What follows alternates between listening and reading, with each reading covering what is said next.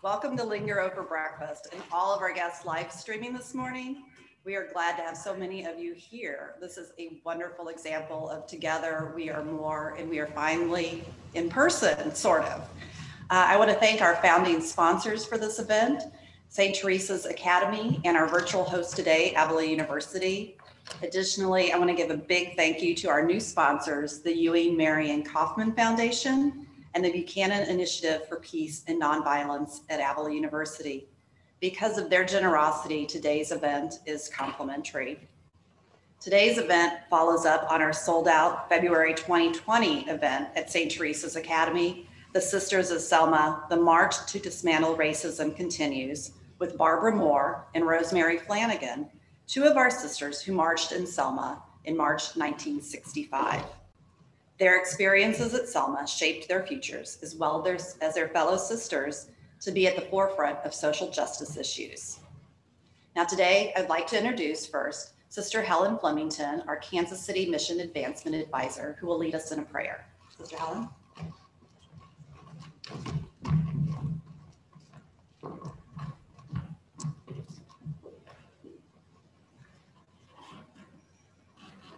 Teach us to not be afraid, to trust in God's promise. Teach us to love courageously with hearts that are free and just. Teach us to protect one another and all that belongs to God. Teach us to dream a world where all are illumined by God's light. Teach us to keep the word of God and to proclaim it in our words and actions. Teach us to be gentle with our power and strong in our tenderness.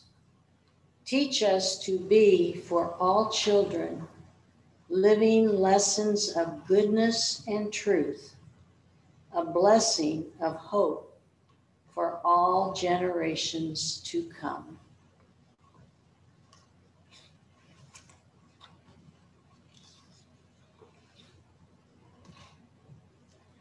I want to introduce our moderator, Carol Coburn, and I'm blocking her, is a professor emerita of religious studies and director of the CSJ Heritage Center at Avila University.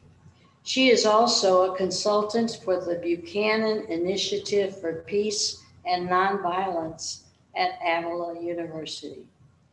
Carol has published and presented extensively on the topic of American Catholic sisters, including a co-author book with Martha Smith, a CSJ, Spirited Living Lives, How Nuns Shaped Catholic Culture and American Life, 1836 to 1920. And so careful. Thank you, Sister Helen. Today on St. Joseph Worker Day, we're exploring racial discrimination as a part of our history and a part of what some call our original sin in the United States. It is the root cause of immigration issues as well as other isms. The Sisters of St. Joseph of Carondelet commit to addressing fully the violence of our time. And the sisters dismantling racial discrimination is one of their priorities. They advocate for change in our society and encourage us to work to examine our own personal biases. The sisters' full statement can be found on their webpage. That's www.csjsl.org. I'll repeat that later on, so we'll come back to that. This morning, we're honored and delighted to have a panel of area civic, business, and religious leaders who will guide us on how we can join together in our continued march to dismantle racism. We're going to hone in today we want to focus on Kansas City. We hear lots of discussions every day of our lives from news media and, and many people who are thought are thinking and reflecting on this.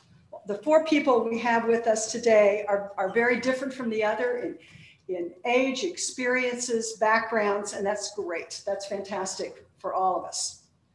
So we're choosing to share ideas and understandings. And let me introduce them to you, and then we'll, we'll go from there. On my far left, Kevin Willmott, American film director and screenwriter, and a professor of film at the University of Kansas, and an Academy Award winner for Best Adapted Screenplay for the film BlacKkKlansman.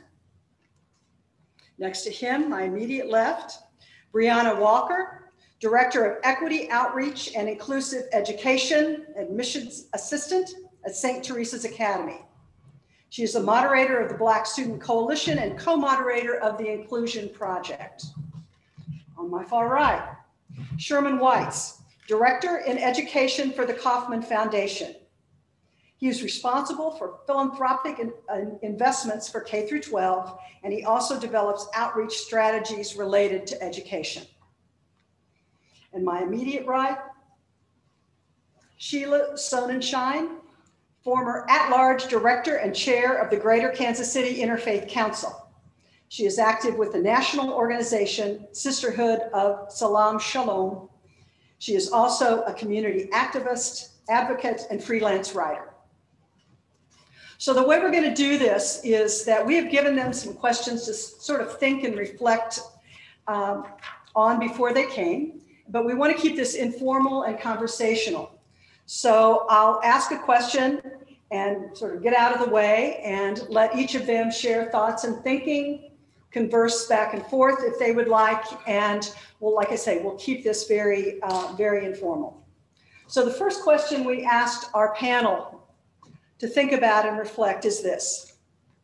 Since change and progress have come so slowly on racial equality in 2021, what do you see as your top three priorities for immediate change, particularly on the national scene?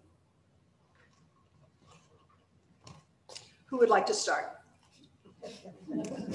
That's, that's the way you do it in the classroom. Get people going. Dr. Carol, we've already made a pact that I will never start. I see that. Okay, we got dissension already here. So, so who's my So volunteer? I guess, I Let's guess okay. in the pact, I was going first. Um, eh, Such a hard question because you want to kind of tackle everything, right? You wish, in my world, I shoot for the stars and land on a cloud, and so I want to tackle everything. But if I have to narrow it down to three, it's really just two in my brain. But the first thing, I think education and not, um, the, not the institution of education in my eyes. I think um, a lot of times the institution of education, like schooling, formal education, can perpetuate some of these injustices and inequities.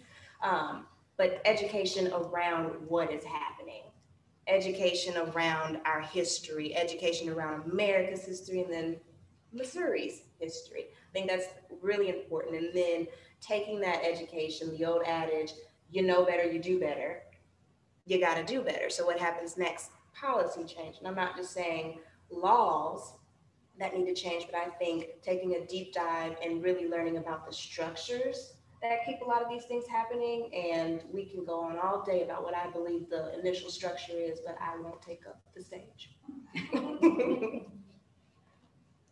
Yeah, I, I, I would agree with you, Brianna. It- You know, it's a, it's kind of a, a tough one because there's so much, right? Uh, and trying to narrow it down. I think right now, you know, the whole thing in the country happening right now with, um, with policing, obviously. Uh, and, and Kansas City has had its share of issues and problems, like all big cities do. Um, and there's good things and bad. But, but I, I love the fact right now that we are kind of looking at turning policing into a new idea. I think, I think that's really important at this moment. And, and I think, you know, what that turns into, hopefully will, it will expand the idea of policing, how we see policing. Um, I think that's a big problem. It's been a, it's been a problem for a long time. I heard something the other day I thought was pretty good. That, you know, with January 6th and all the crazy stuff that's happened here in the last couple years, um, that they felt like there's like, like might be a race war going to happen. And somebody said, no, it's not that there's a race war getting to happen. We're trying to end the race war that never stops. And, and I think that's, that's really, from my point of view, more, more what we've been trying to do. And I think this question of policing, I think it's a good example of, of, because that, that's, a- that's something that has really gone on since the notion of police. You know, that since the, since the idea of policing, that's been a problem in American life. And I, I think it's just now coming to the surface in the way that it, it should have been a long time ago, probably. And so hopefully we will, we'll take this moment and, and kind of, you know, look at it and, and rethink policing into something more community-based and something with less kind of violence and, and retaliation at the center of it, you know, which I think is, a- I think is the thing that everyone's talking about right now, that, you know, you call for help and, and people end up getting killed. And, and it happens every day, numerous times a day in this country. And that's, and that's been a problem for a long time. Um, You, you know, you can talk about all the other aspects of, of, of the problem of policing, but, but that, that one specifically, I think, is one that maybe can be addressed. And, and we could maybe see some, some movement at, with that at at this moment. I was going to say that I also agree with um, the systemic racism that we need to, um, we all need to learn what that is and that it- it's, it's at every level of, in our country and our being. Um, As a white person, a white Jewish person, um, I really did not understand that fully until George Floyd was murdered. And it awakened in me um, like, oh my gosh, I, I have white privilege. I never knew, understood that until George Floyd. And as uh, President Biden says um, now, when he talked to um, Mr. Floyd's daughter, um, granddaughter, saying, um, my daddy changed the world. And he certainly changed mine. Um, and my experience is in the multi-faith um, community, working for almost two decades in this world, in the interfaith world. Um, and because of that, and building relationships, and I think we'll probably talk about this as we go further. um, as we build relationships, we can tap into the relationships that we've built. So, for example, when um, George Floyd was murdered, and I had that awakening. I said, um, I have to do something. I have to do something even more. So I reached out to some of my friends. We reached out to each other and said, um, let's start a book club. It's just the beginning, but let's do that. And the more I read and the more I talk to people, um, the more I'm learning and actually feeling like I've been so ignorant all these years. Thank you sharing. Uh, And good morning to everyone. Uh, And, and thank you for allowing me to be a part of this esteemed panel. I agree with all of the comments and, and, uh, but I think the question was top three priorities.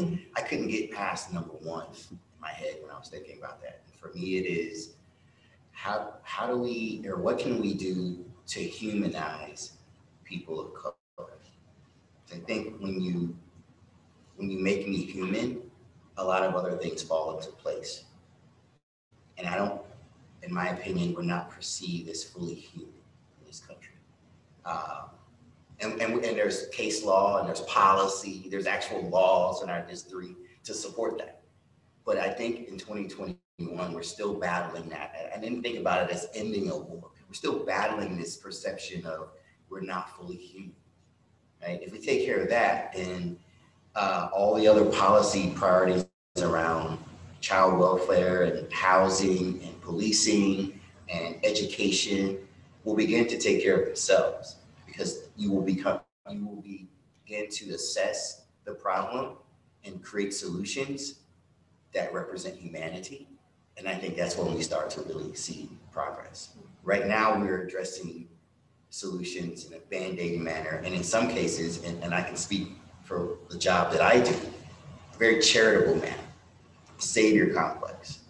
Instead of saying, wait a minute, we're all human beings. Why should human beings be homeless? Why should, you know, I'll bring it back to, to the thing that I do, which is education. Uh, in the Kansas City region, no matter what district, so people think urban when they, when they think about black people or they think, you know, Hispanic people, they, you know, we start putting people in geographic places. But in this entire region, black students do not perform at par with their white peers in reading and math. I mean, I'm talking about Lee Summit, I'm talking about Blue Springs, I'm talking about Johnson County, the places where oftentimes people of color move to for better opportunities. We still don't perform at parity, right? And we know how to teach people how to read and how to do math. So why is it that I can still, I can move? And you think about it, that, that's a financial decision when you move to a place for safety or move to a place based on education. Why is it that I can invest dollars, move to a place and still not get parity in education? right? And the data proves that out, regardless of where you are in the Kansas City region. So again, I, I just say, what what is it? What are the thought exercises? What are the policy exercises? What are the tra- trainings? Whatever it is, exposure that allows us to see everyone as human, and then we can start to solve problems on that level.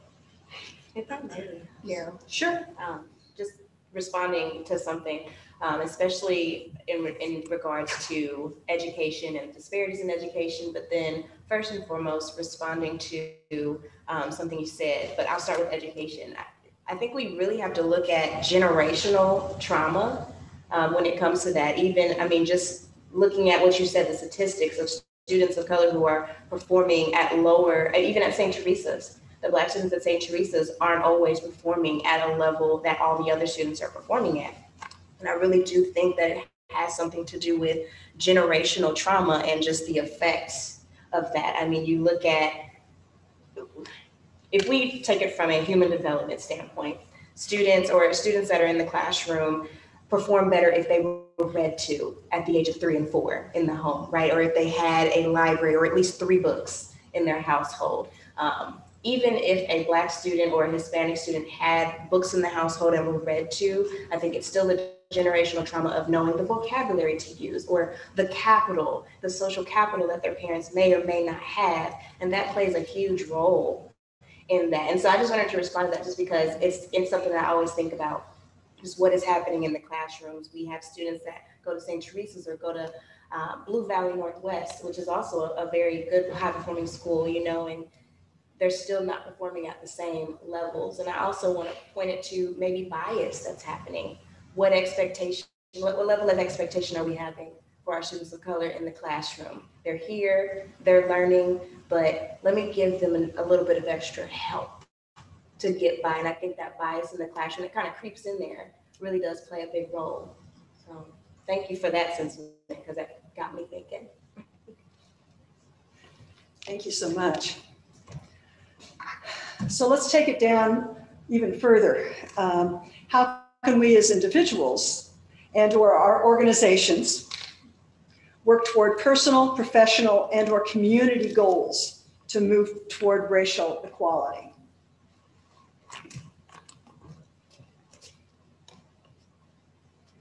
You know, well, one thing, you know, that I love what Sherman said about, um, you know, about how when people don't see you as fully human. Uh, and there's a lot of, I think there's a lot of reasons for that. You know, that, I mean, it goes back to the education thing that Brianna and, you know, she was saying that um, we've never really fully educated ourselves in an honest way about how we live as Americans. I mean, you know, it's like, uh, you know, I'm, I make films and um, and I make a lot of movies about history. And people will come up and they say, "I just learned about the fact that they they blew up Tulsa and, you know, and the, bl- the black community in Tulsa. And, and it's like, yeah, I've been trying to make that movie for, for 25 years, you know? And, and they just discovered it because it was on a show, you know, that had a segment about it. And, but we should be hearing about those things in school. And we should be taught those things in school. We should be taught about how people, the struggles that all of us, not just black folks, all of us have in in in trying to be full Americans. And and and because we don't really do that, um, we don't see each other that way. I mean, that's a big part of it. I mean, we it's hard, it's hard to, you know, kind of you know, understand your pain if I don't know how your pain even happened to you. And and so that I think that's a that's a big problem in terms of, you know, we've got to somehow, you know, you know, do all the other educational things that we need to do, but then also teach our everyone about this unspoken history, this unspoken kind of American experience and really kind of world experience, but specifically American experience that defines our now. I mean, this is this is the thing. You know, you know. I made a movie a few years back about black folks being so desperate in 1939 that they built a rocket ship and go to Mars. And and the reason, and then they, but they end up going through a time warp, and, and they end up here with a black president. And the thing about that is that there are kids now that the only president they know is like Obama and, and, and Trump. So, and so hate, hate groups are now being able to speak to them because they don't know anything after Obama. All they know, they think having a black president is normal. Is like, that's just way it's that's every day. That's just so they don't know about the sisters marching in Selma. They don't know about how we the sacrifices and the struggles that it took to get to this point that you could have an Obama, you know. And and and so we, I think it's easy to forget that that that the perception that and I know on, on college campuses right now, hate groups are really speaking to those kids because they don't know this other, they, they think that they don't understand white privilege. They think people talking about white privilege is offensive and to them, and it's an affront to them, and they feel attacked and they feel centered, uh, you know, kind of, you know, targeted in that sense. So it's it's a you know these things keep getting more and more complicated, and and it makes it harder to take it to the next level. In that sense. You know, it makes it harder to, because it's like we've got to acknowledge this thing that we're not acknowledging. I, um, what you said, Kevin, all that you just said, um, I relate to in the sense of um, my um, my work with the Sisterhood of Salaam Shalom, which is um, a group. It's in the national group where Muslim and Jewish women get together once a month to build friendships and trust because people think Muslims and Jews can't get along. So um, we, we do social action. We meet we meet each other and our families, and we also have taken trips. And one of the trips that I chaired was a trip to the American South, a civil rights trip. And uh, the executive director of, of the sisterhood would say, you don't know until you're actually there and you can feel it. And that is exactly what happened because um, growing up, okay, we learned about Martin Luther King Jr., but really just at the surface. And it wasn't until we were actually on the ground that I felt it a little more viscerally. Of course, though, not as deep as it needed to be. Even, I mean, there's so much depth that I need to learn. I need to learn more about. Um, well, one of the places we went to on the civil rights trip was the lynching memorial. Had, we were there on opening day um, with the Equal Justice Initiative. And I knew about lynchings, but I really didn't know about lynchings, really, what that meant. You know, just taking someone off the street and hanging them. And what I learned there too is we are having modern day lynchings. Um, When, when there is a black person who's driving and the police comes and it's just, uh, you know, they say it's a traffic violation and then they end up being killed. That's a lynching. Um, what happened to George Floyd is a lynching, I mean, right on his neck. Um, anyway, we have these modern day lynchings, and I think as we learn more and see it more viscerally, um, and we have to keep teaching the next generation. My hope is that the generation, the next ge- generation after me is better educated and understands it better. um, so that everyone can be on the same level. That, that black people or brown people are not at the very bottom. Um, as Isabel Wilkerson says in her book Caste, that black people are on the very bottom. And um, I, it's very, it is very upsetting to me.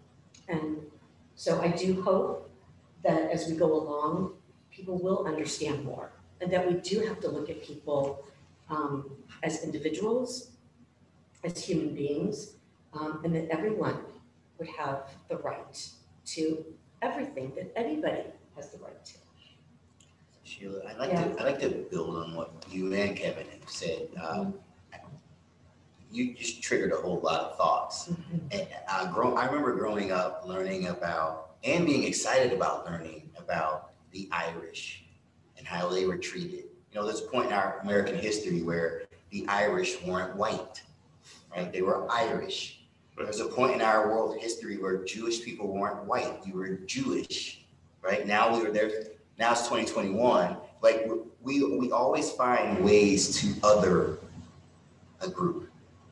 Even when they may look like you identified yourself as white, but you were still othered, right? And there are parts in his history. And, the- and what Kevin's comment made me think about is the fact that I learned about uh, various points in our world history in school, and it made me empathize with that group of people. So then think about not learning about Tulsa, right? I grew up um, where the Moore family uh, in Mims, Florida. I grew up in, in Central Florida, and right within an hour of where I grew up, uh, there was a Christmas morning bombing of the NAACP leader. I never learned about that in school. Right. My grandfather took us through Mims and talked about it, right? But why didn't I learn about something that happened so close to me? And it's the same with people, I used to live in Arkansas, people didn't know about the Tulsa race riots. It's within an hour of where you live, and you've never learned about it. Meanwhile, I learned about what happened in Germany.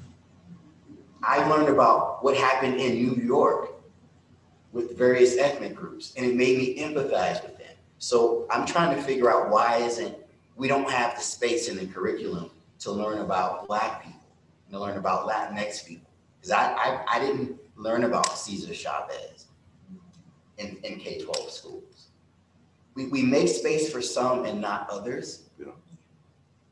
And, and, and I'm thinking about how it actually helped me to humanize other groups. Again, going back to that, why, why is this intentional? And if not, then what do we do?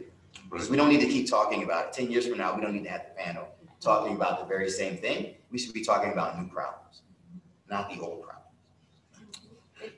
Yeah, I was gonna say it, I think it doesn't get taught in schools because someone has to be blamed for it then.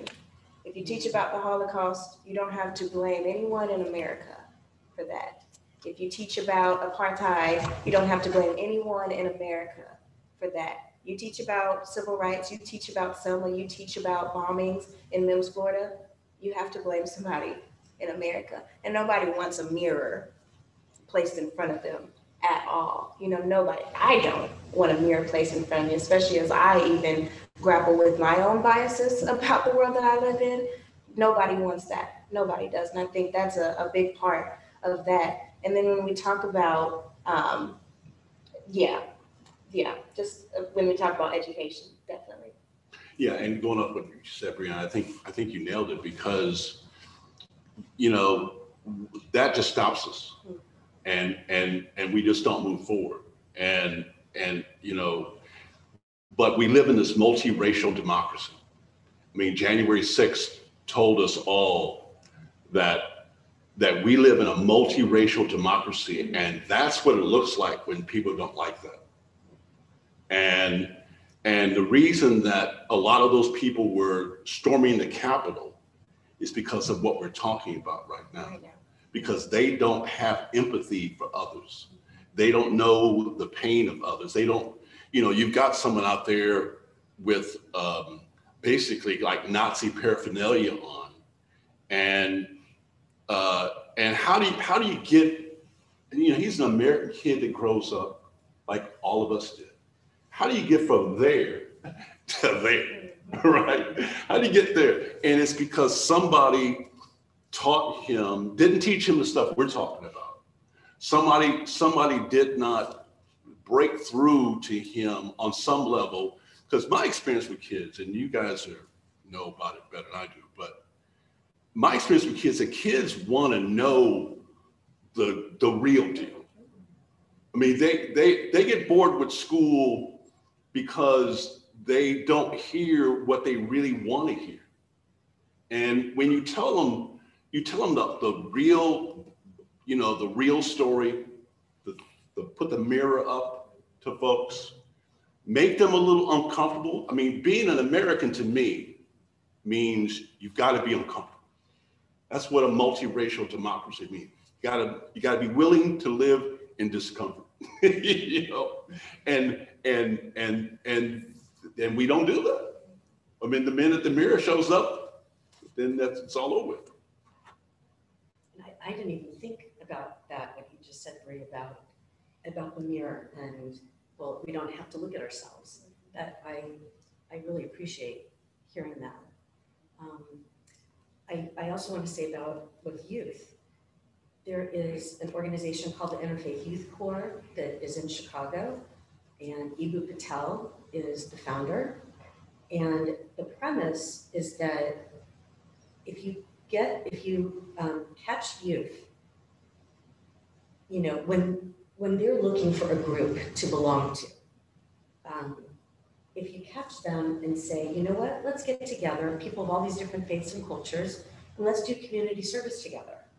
Um, let's go paint a house together. Let's tend to a garden that helps um, grow food for food pantries.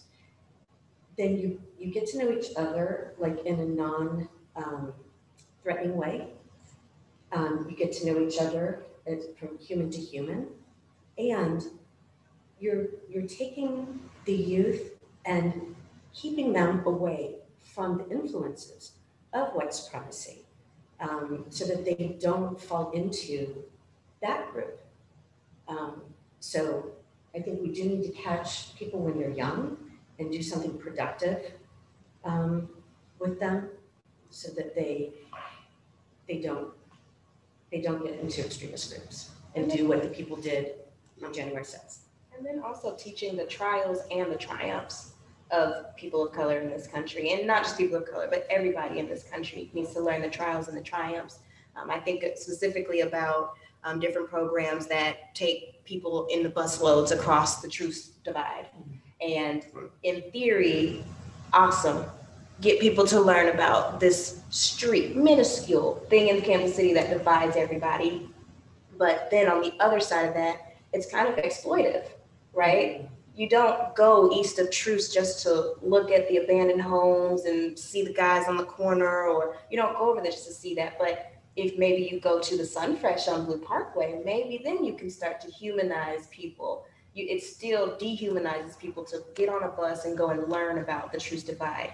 It, it humanizes people to go to the Sunfresh or to go to Leon's grocery store that's now closed, unfortunately. That was the, the, the first and longest running black owned grocery store. Just closed this year, you know, on the east side. And that's when we talk about humanizing people, and I think the book club is amazing. That is the start, that's the groundbreaking part of it. But it also kind of keeps you away from that group, when you read about them, it seems, it seems very distant to read about the trials of people. But when you can put yourself in the triumphs of people, going to church with them, going to their grocery stores, going to the Boys and Girls Club on 43rd in Cleveland, it really does help.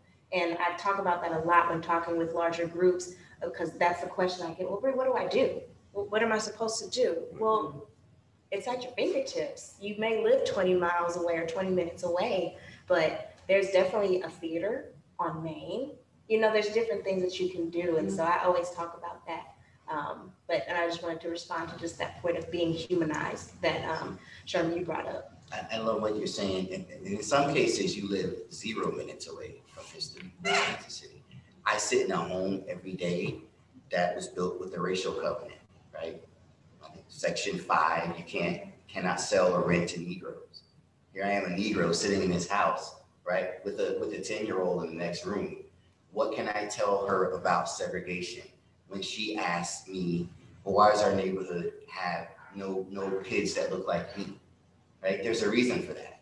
50, 60, 70 years ago, there was some policy in place that uh, promoted practices that are still lingering in 2021 that a 10 year old can notice. And she's asking the question and she's not necessarily getting the answers from her school environment, but we're zero minutes away from history.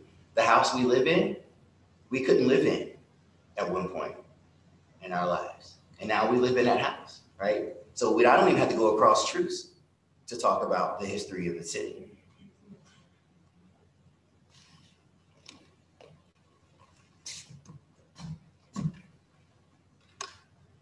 Do we build common ground or community? We talk, we use those words all the time. Well, we have to search for common ground. We have to work as a community. But specifically in Kansas City, again, we'll keep the, we want to keep the focus there. Um, how do we go about building common ground or community to facilitate meaningful change across the city? We actually, you've done such a good job in terms of your thought processes so far that, that we've even uh, addressed this. But, but any other comments, particularly on, on pulling people together uh, from any of you, even though some of you have very uh, wonderfully shared ideas so far. I'll just let that sit, and if, if everything's been said, we'll go on to another one. But, but what is common ground? What does that mean besides it's good, it's good words?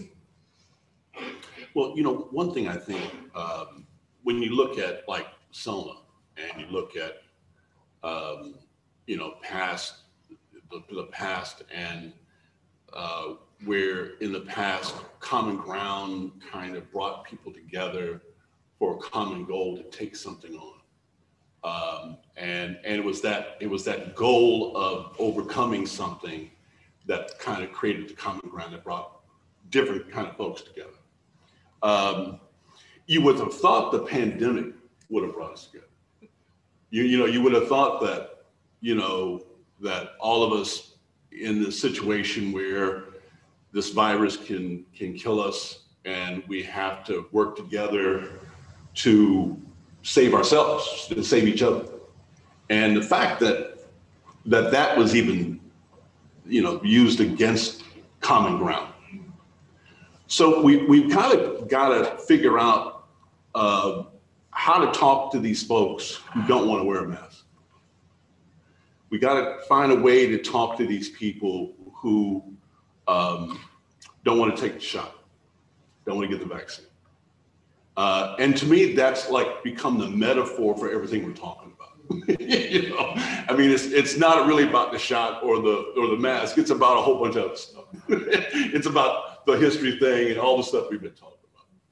And so, if we can, you know, when you look at Dr. King and you look at the civil rights movement and you look at other movements that have happened, and really the movement that's going on right now, um, you know, there's a lot of common ground, and it's so great to see Jewish, Black, White, Asian, Latino people out there in the street demanding this stuff to change and end.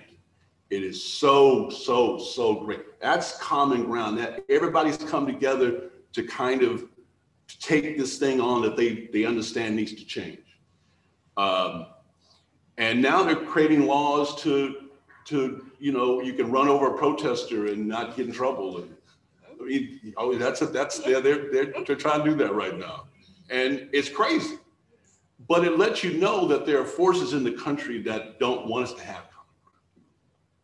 And, and there's forces in the country that don't want us to, you know, all get together and, and in the virus, you know, or be safe from the virus. So, you know, we've got to find a way to talk to those folks. And then one of the things I've been saying to, here lately is that it's those people who don't have maybe my best interest in mind as a black man. That it's not my job to change their mind. It's the folks that look like them have to change their mind about how they feel about me.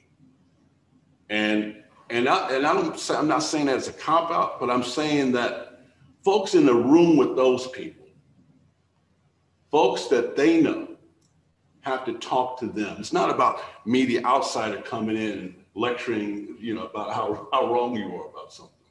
It's about people in within their circle. So when people say wrong things, they say the bad thing, you got to call them on it, right? The, the, the, the mom, the dad, the friend, the neighbor, the classmate, the, the, the, the working colleague. You got to, you got to say, hey, man, that's, it's not about political correctness. It's about all of us being able to live as fair, you know, human beings. Mhm. And then taking, you know, just that getting in the room with people, even those rooms that are homogenous, say a church or a, Catholic school, for instance. I mean, you get into those spaces, but then you have to try to bridge the two ideals together. So, how does Christianity and social justice fuse together? And I think what we're doing at STA is saying they fuse together because it's about humans. It's not about being Christian. It's not about social justice or politics or whatever it is. It's about being human. And right is right, and wrong is wrong, right? And so I think if we can, in those pockets of places that are very homogenous, saying, okay, how does our homogeneity fuse together with this ideal that we want to stand behind? We just don't know how. And I think it's because the, the, the there's a disconnect between how those two things can really connect to each other and how they really don't have to connect. They are actually one in itself.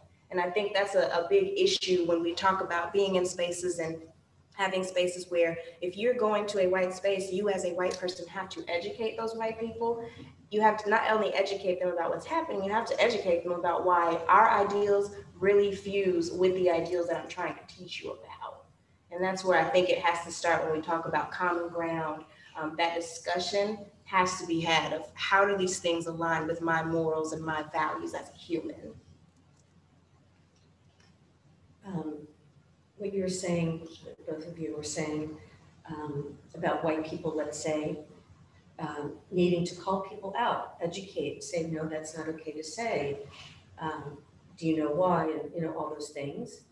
Um, And that, the reason for the book club was so that I would do the work, that I need to do the work first before I might even know what is offensive or what is, you know, Sure. Would, that would hurt someone, someone. Um, One, um, one aspect of the multi-faith, multicultural world is going into other people's spaces.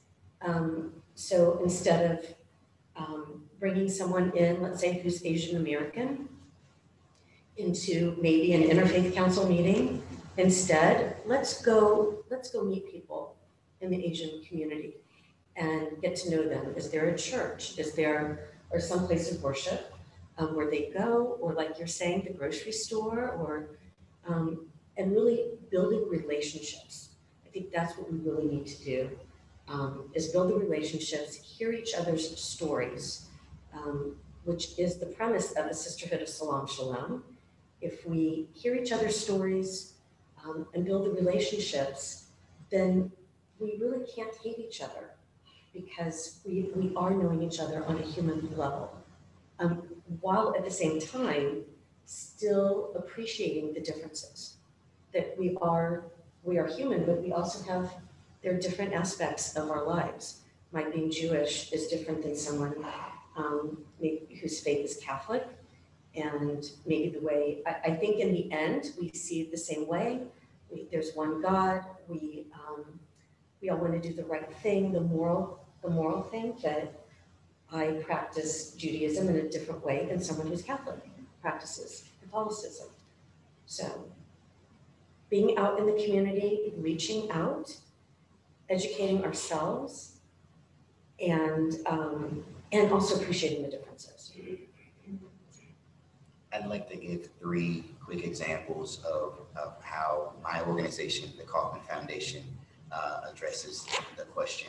And it kind of underscores why I love this work. Uh, the first one was you mentioned something about uh, Equal Justice Initiative down in Montgomery. One of our grantees, uh, the Urban League of, of Greater Kansas City, uh, before the pandemic, was taking cohorts of people uh, to Alabama to see the lynching museum. I know that's not the formal name of it, Right. as well as a bus to Selma. So that's the only time I've ever been to Selma. Um, I moved to Kansas City so I can go to back to the South where I'm from uh, and learn about these things. Uh, so, but but I know uh, the Urban League and, and Gwen Grant. They've, they've taken cohorts of people down there, uh, professionals, civic leaders, uh, legislators, what whomever, to sit around. Part of that part of that trip is we sit around the table and we discuss what we've seen, right? Uh, so when you come back to Kansas City, eh, you have a different lens around uh, uh, race and equity. That's one example. Another example is uh, we've been piloting some what we call equity in schools cohorts. So we, we're taking uh, district leaders and charter school leaders from around the Kansas City region. Uh, again, a cohort model. That's a theme with my work. I like to get people in a group together and talk, talk through things. Um, we, uh, they, they start out with an equity audit of their district and or school. And then they go through a series of uh, trainings and meetings and activities. And they end up, say, nine months later with an equity plan to implement. So putting all this, this conversation into action. And then the last one is something that we actually launch next week, which is, uh, uh, we call it READY KC. Uh, READY stands for Race, Equity, Diversity, and Inclusion. So READY KC Community of Practice is going to be a cross-sectional cohort of organizations in the region. Boys and Girls Club, Lead Bank, um, uh, the Civic Council, the Chamber of Commerce, uh, Nelson Atkins Museum, variety, probably 15 organizations along with Kauffman, because so many of the people we invest in or, or invest in uh, organizations to support are, are people of color. And in order to do that work well, we have to evolve internally. We have to put the mirror up to ourselves and say, and assess how we're doing our work. And, uh, we've probably been on this racial equity journey in a formal way for probably three, four years.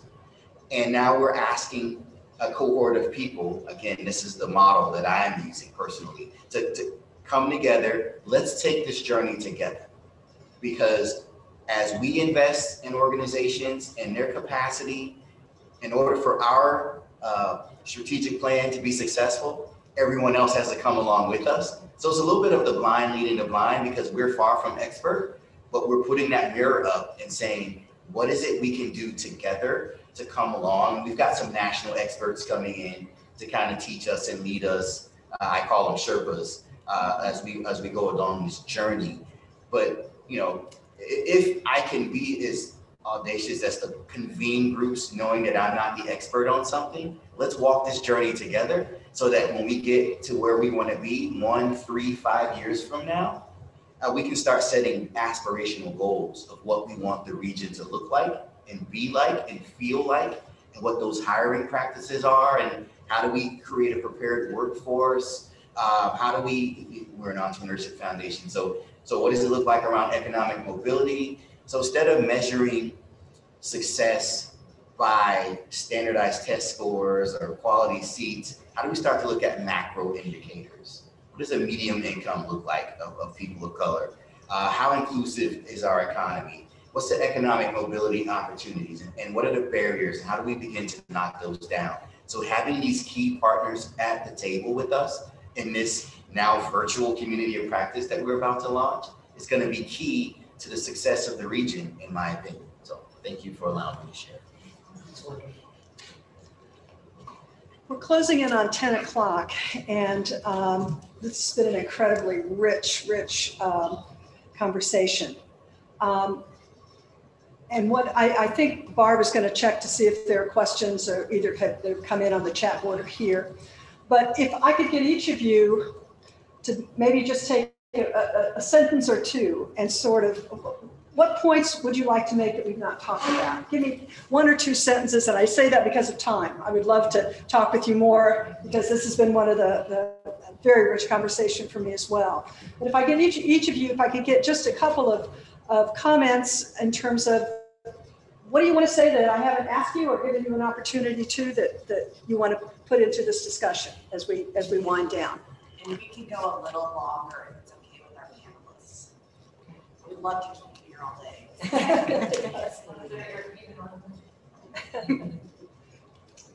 Well, I would say, um, in Judaism, in, in the Bible, it says, um, tzedek, tzedek, tirdof. Justice, justice shall you pursue. And in the Torah, um, every word counts. So why would there be two, tzedek, tzedek, justice, justice? And one, I, um, one thought is, there's the tzedek for the individual. As an individual, I need to pursue justice um, and, do, and do what's right. The second tzedek is the community. As a community, we need to have justice and work together for justice. I love that. I'll, I'll, I'll go next. I, I spent the majority of this morning trying to tie this tie. I have, I have fifty ties. I know how to tie a tie, at least I did. And in the past year, I haven't tied a tie. So when I went to put it on, I literally had, I tried it about ten times and then I went to YouTube. And, and the point I'm making is, even if you think you have a skill, if you don't use it, it atrophies. You have to actively think about what you're doing and why you're doing it and how many times you're doing it. I had tied a tie in 18 months and I literally forgot how to do something that I learned when I was a child. And the analogy is the racial equity, okay, it can be a conversation or it can be action. Because if you don't have the action, then you're gonna you're not you're gonna forget that muscle memory. Right? I literally had to watch a video to do something that I that I know how to do. That that's that's what I learned. You know, uh, you know, going off what you said, Sheila, that, uh, I love what you just said for sure. That's real good. Uh, what you said, oh Sheila, about, um, you know, about how in the book club, you know, you kind of have to read it to kind of feel the confidence to kind of share and, and to be able to, you know, be in discussion and conversation about these kind of things. I think that's really important. Um, but you know, we, we gotta, we gotta make sure that we don't allow, um, you know, the, the world to make us feel like we don't have authority, you know? And, uh, we're all Americans, we're all human beings. Uh, we all have a stake in this. And, you know, we have to be willing to not allow all the pressures that that are surround us every day that tell us shut up and sit down to not allow us to shut and down you know and uh and i think when it comes to race in particular uh people feel like they they don't have the authority to even speak and uh and and, and people need to you know be willing to, to step out, even if they're wrong. Because what happens is that I, I kind of believe that the man that murdered George Floyd, the policeman that murdered George Floyd, that when he had his knee on his neck, he was thinking about all the other black people he wanted to kill. all the other black people that he's encountered as a policeman that he's had anger, and frustration with. And it's, it wasn't that just that moment, I don't believe. That's just my own little theory about it. And and it maybe he had talked about how he felt about black people and about policing and about his job in the world that he lived in every day, encountering people with a lot of difficulties every day. Maybe he wouldn't have, maybe he wouldn't have took it out of George Floyd. You know? And and so in that in that sense, I think we're all George Floyd. The knees, the knee's been on all of our necks. And we gotta find a way for people to to be able to express themselves so that they don't kill us. Since I have to say something, no, I'm just kidding. Um, the the quote that, that stays with me every single day. Um, it says, "We're not a product of our environments. Instead, we're a product of our expectations." And there's a lot of people that disagree with that quote, um, and I think it's because we're only thinking about the individual. You are a product of your expectations, and I I don't look at it that way. I look at it that way, but then I also take it a step further and say, I'm a product of my expectation of you. It's like a self-fulfilling prophecy, so you will. So if I if I don't expect anything more from you, your situation, your environment, then I can continue living my life knowing that my expectation of you is confirmed. And I think if we can get to that, if we can get to what are our expectations of the world around us, of the people around us, we can really start to dive into some really heavy hitting, thought provoking, world changing work. If I expect more from people who live on 39th and Vineyard, then maybe I can use my resources, my own expectations, and come over there and help and give back and give in and pour in. And so that's what I want to leave everyone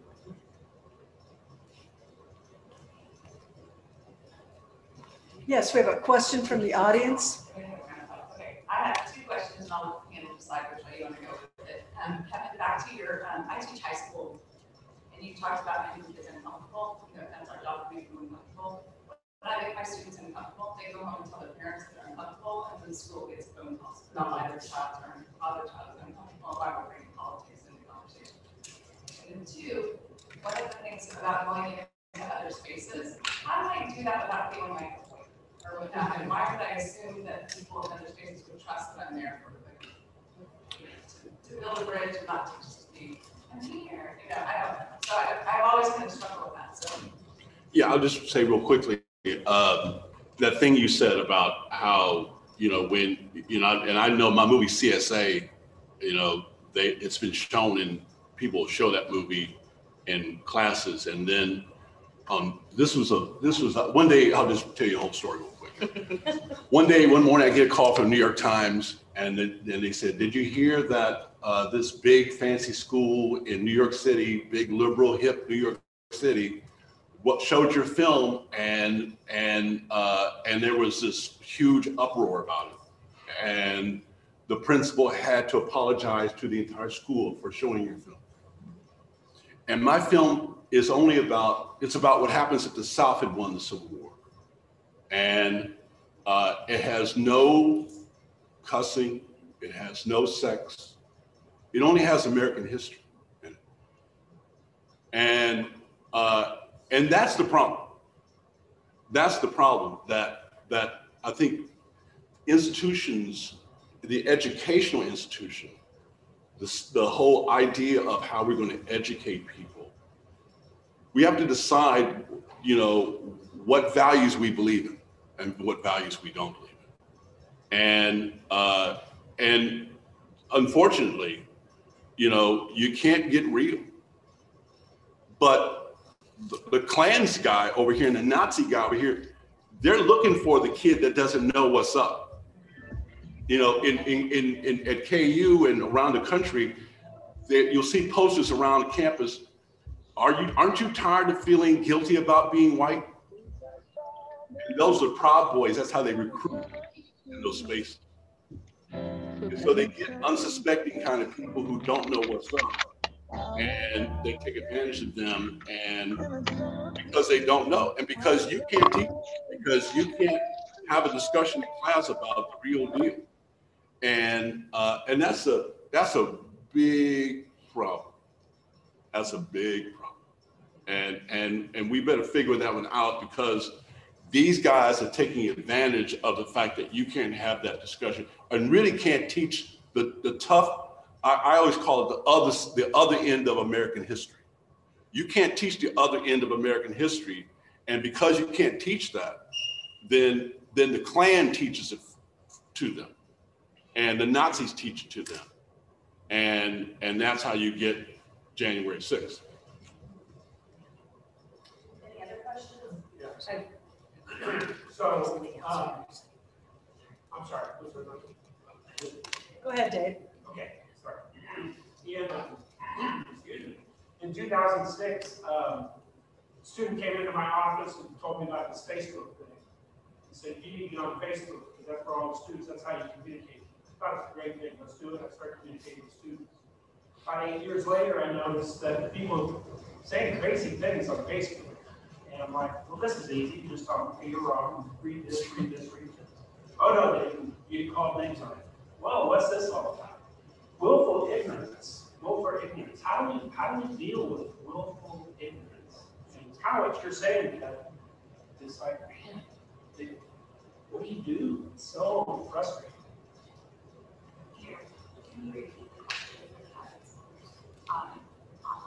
Sure.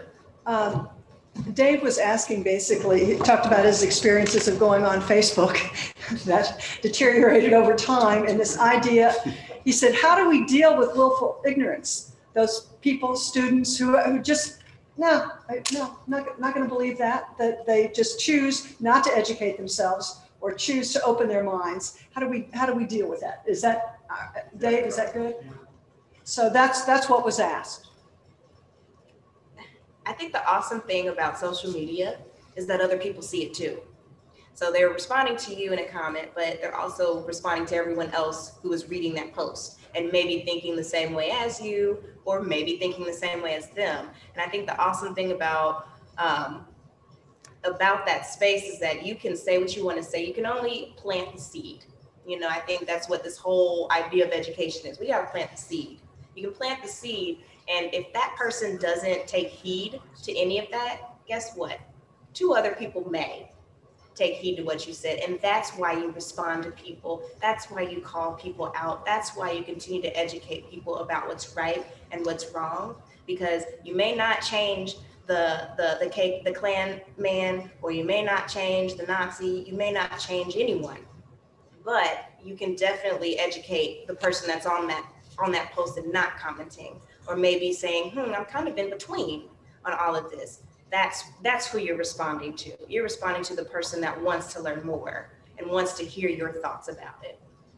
I, I agree wholeheartedly. I'd like to add that uh, our tendency is to other folks when, we- when they believe something that we feel is, is uh, irrational or or nonsensical. Uh, And, but there's willful ignorance at the Kauffman Foundation. There's willful ignorance at St. Teresa's, at Avila.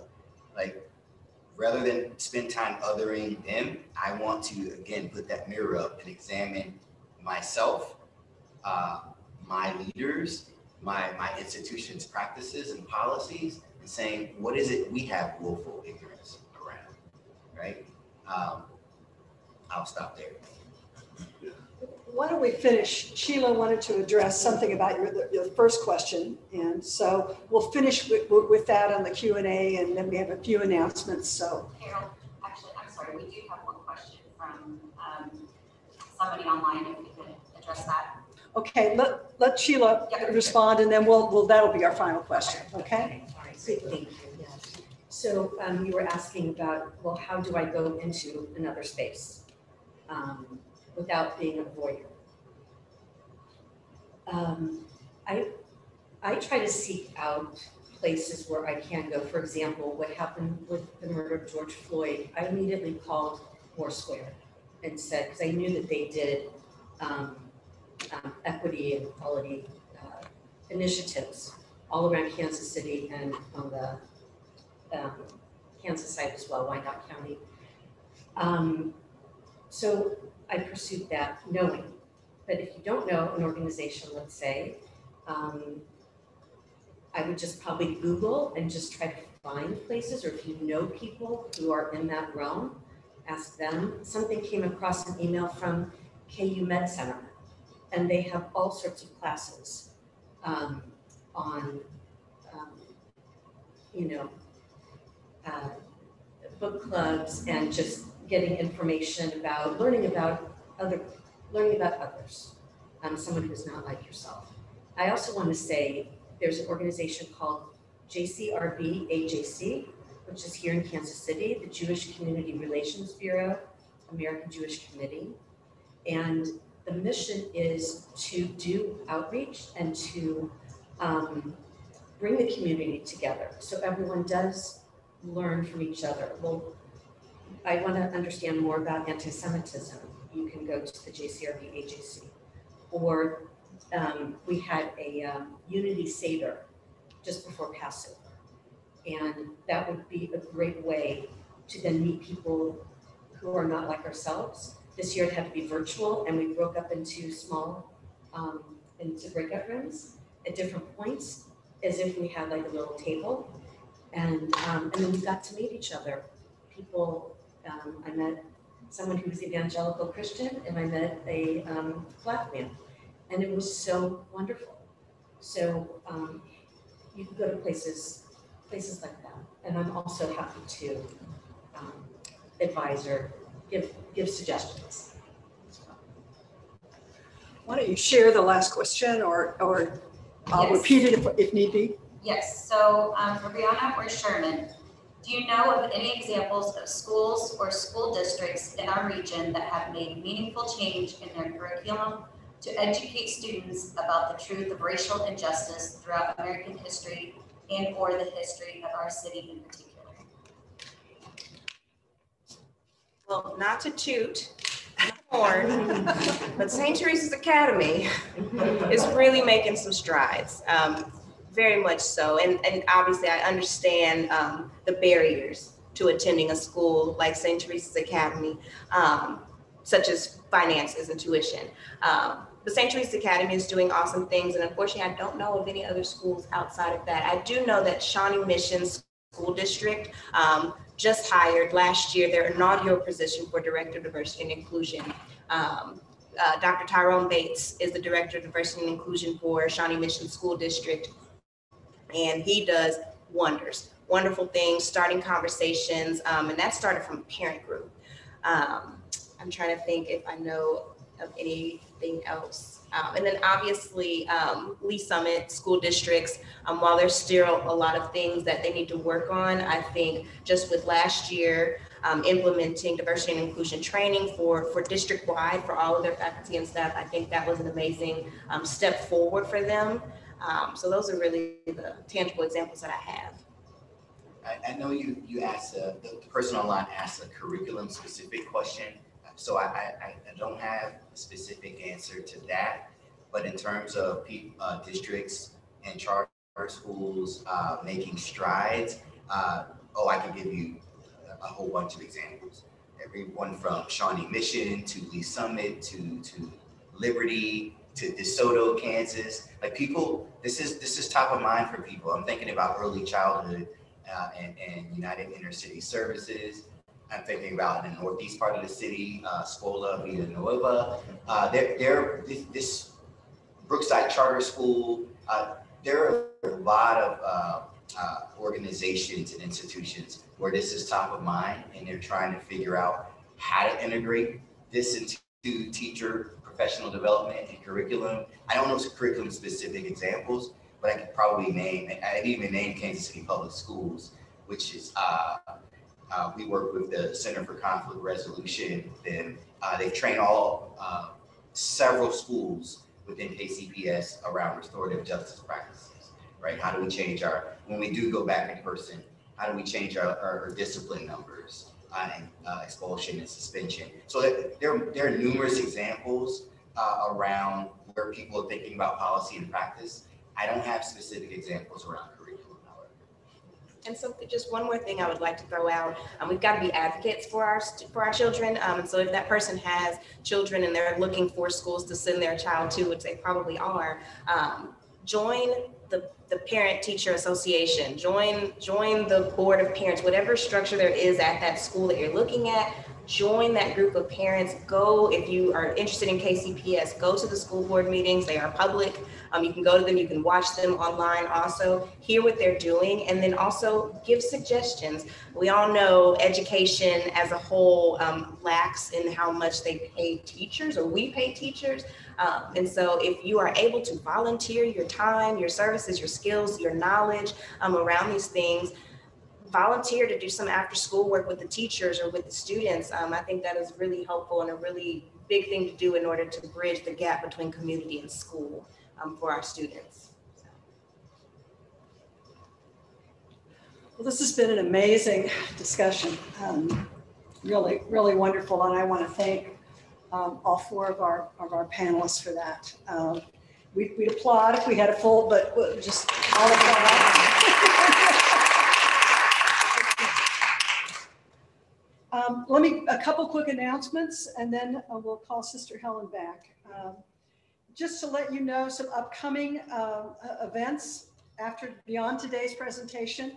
Again, go to, I'll give you a website, www.csjsl.org. Just to touch on it, June 3rd, there will be an original production, DWB, Driving While Black. It's an opera by CSJ associate Roberta Gumbel. June 8th, a Joe Talk on the racial wealth gap in the United States. October 14th, the wine event uh, in which we'll celebrate 155 years of our sisters in coming to Kansas City. And on October 23rd, another Linger Over Breakfast event, Care for Creation in Action with Jerusalem Farm. And again, go to the website, the csjsl.org website to find out information as we go forward. And I want to thank all of you for, for joining us. And we'll call Sister Helen Flemington back to uh, share a prayer.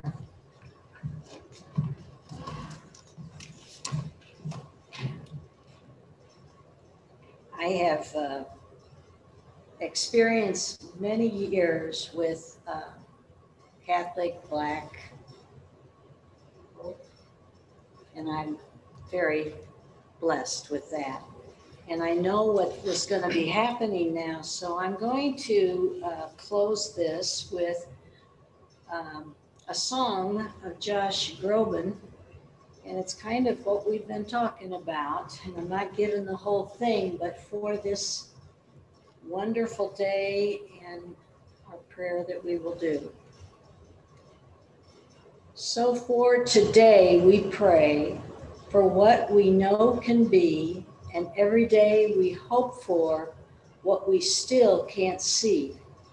It's up to us to be the change, and even though we all can still do more, there's so much to be thankful for.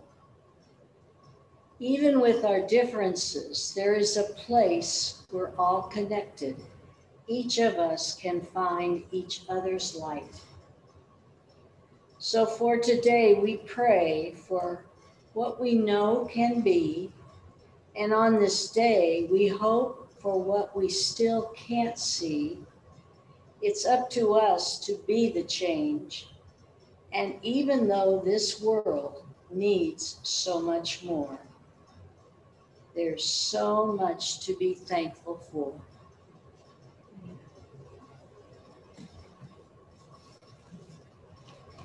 We are. Just wanted to thank all of you again and our panel. And um, we would like to, the few people that are here, uh, I've been asked to say, will you please linger? We want to get some photographs. And I think that's it, Sister Helen. Thank you for sending us off. And thanks to all of you, both virtually and here.